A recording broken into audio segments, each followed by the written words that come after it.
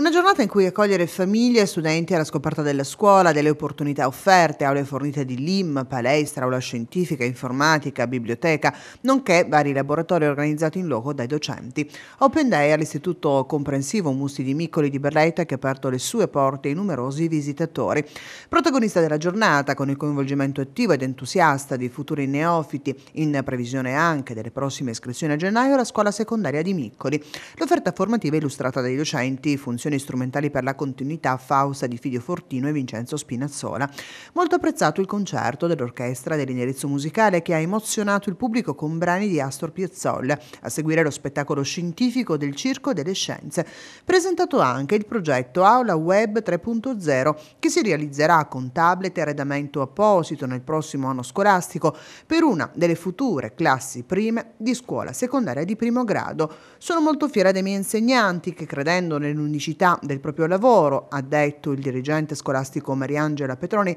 senza scoraggiamenti ma con professionalità ed entusiasmo si impegnano quotidianamente operando nel bene per il bene della comunità scolastica, crescendola in qualità ed efficienza. Il dirigente scolastico Mariangela Petroni e il suo staff di docenti eh, apre le porte dell'Istituto Comprensivo Mussi di Miccoli eh, anche ecco, in previsione di quelle che saranno le future iscrizioni eh, per gennaio 2016. Eh, in questo caso stiamo parlando di un progetto di coding che andremo a presentare ai ragazzi di quinta elementare, in più abbiamo poi un progetto di certificazione di eh, competenze digitali intermedie per i ragazzi di scuola media, in pratica desideriamo ehm, introdurre i ragazzi di scuola elementare alla programmazione in maniera eh, giocosa e quindi istruirli con un software eh, che è questo Scratch ideato dal MIT di Boston, è un software molto innovativo che permette ai ragazzi di imparare a programmare giocando e quindi quasi senza nemmeno accorgersene, mentre per i ragazzi più grandi, quelli di prima, seconda e terza media, faremo già qualcosa di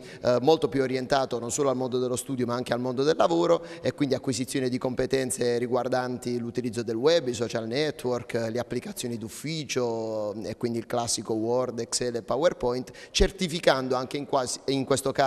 le loro eh, competenze con eh, un diploma, una certificazione informatica di valenza europea. L'Istituto Musti eh, di Miccoli è un istituto comprensivo eh, che si occupa di, della inclusività di tutti gli alunni, sia quelli con disabilità che i normodotati, per cui è una scuola progettuale, il progetto musicale eh, perché è proprio una scuola di indirizzo musicale e poi progetti pomeridiani, c'è un'ampia offerta formativa, eh, progetti di inglese, spagnolo, spagnolo, informatica. Eh, ci occupiamo eh, prevalentemente di tutti i bisogni eh, degli alunni con una professionalità docente altamente qualificata e soprattutto un corpo docente stabile.